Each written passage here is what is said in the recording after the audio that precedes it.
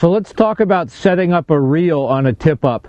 After you've spun several hundred yards of uh, good uh, nylon or Dacron braided line onto your reel, uh, and again, several hundred yards because when you get a big northern pike or a lake trout or a salmon that takes a run with one of these, you're not going to get away with just a hundred yards. You'll lose that fish. So a couple hundred yards worth of uh, braided nylon line on it. We're going to set that down and we're going to tie onto the very end of that, uh, we're going to tie on a small barrel swivel. Do that twist we talked about earlier. And take the tag end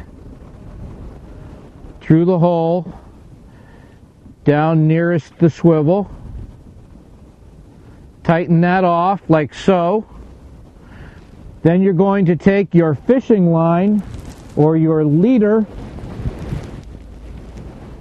which is going to be about 12 feet long, and you're going to tie that off through the other end of the barrel swivel.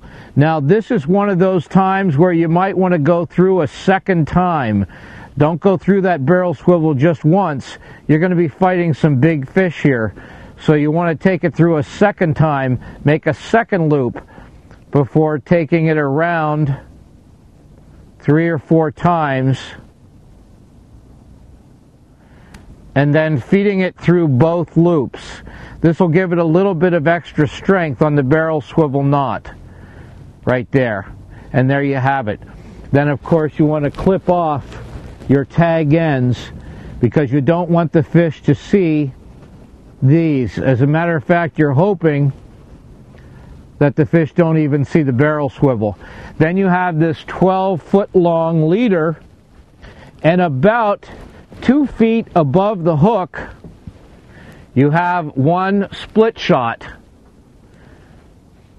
and that's all that's holding it down there.